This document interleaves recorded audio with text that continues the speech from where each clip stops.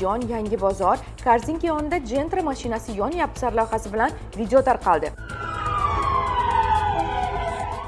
Joriy yilning 1 aprel kuni soat 14:35 larda andijon shahar amir temur ko'chasida joylashgan korzinka supermarket avtoturargohida to'xtab turgan 1992 yilda tug'ilgan haydovchiga tegishli bo'lgan gentra rusumli transport vositasining salon ichidagi elektr qismidan chiqqan qisqa tutashuv sababli yong'in kelib chiqib transport vositasining salon ichi va tom qismi to'liq yonib ketgan. Ushbu yong'in oqibatida transport vositasiga moddiy zarar yetgan tan jarohati olgan fuqarolar yo'q. Shu sababli barchangizdan transport vositasini boshqarishdan avval uning texnik sozligiga e'tiborli bo'lishingizni so'rab qolamiz.